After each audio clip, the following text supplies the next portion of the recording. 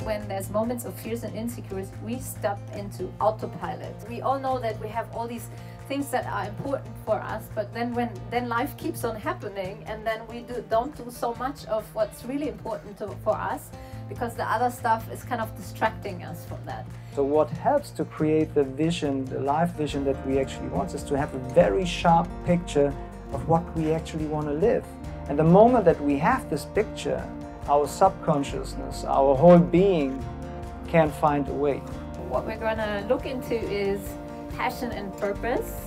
as like for you personally but also why that in like an agile work is actually something that helps us personally to understand more when we are in alignment which helps us then to actually embody what agile means. Put your feet on the floor and close your eyes. Now connect with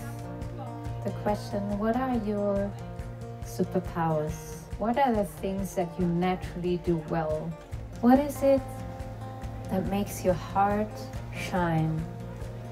The more I know what my passion is, what my purpose is, it's like a red line. We can go back to that again and again because that's more meaningful to us than all the other distractions. So the whole agile journey starts with self-leadership so that you really own your stuff, that you actually know what you need, your boundaries, your resources, that you understand how to deal yourself and from that point actually you can go to co-leadership so that we all take together responsibility for the needs of the organization and create solutions together.